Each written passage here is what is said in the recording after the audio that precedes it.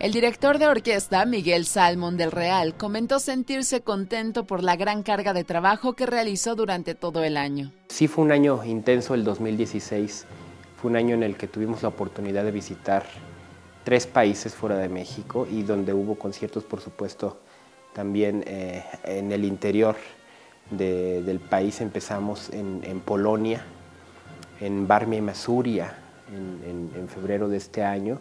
Eh, y hacia el segundo semestre se presentaron las oportunidades de ir a, Brasil con la orquesta del Teatro Nacional Claudio Santoro de, Brasilia y luego con la orquesta, eh, la orquesta de cámara de, de Istambul en, en Turquía.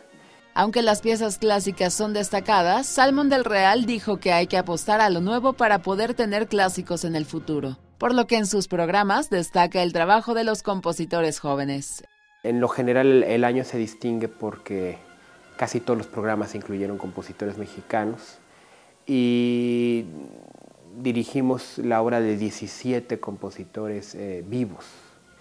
Por supuesto, la, música tradicional siempre fue al extranjero, siempre nos acompañó en los, eh, los programas que hicimos fuera de México, pero es especial la mención para todos esos compositores vivos que a través de 11 miniaturas se hicieron presentes en, en marzo. Con información de Carmen Varela e imágenes de Raúl Monroy. Notimex.